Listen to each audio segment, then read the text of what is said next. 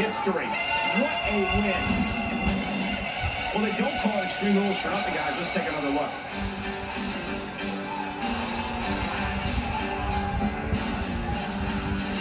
I remember this part very well.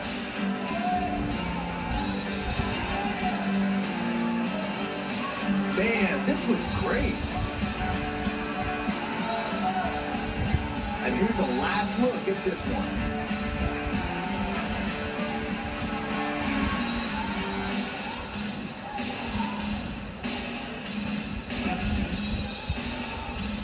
Here is your winner, the Navajo, Zach Skinner.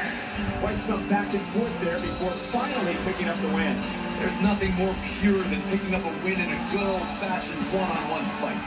We've got an animated crowd here tonight, as we usually do when we're in Orlando.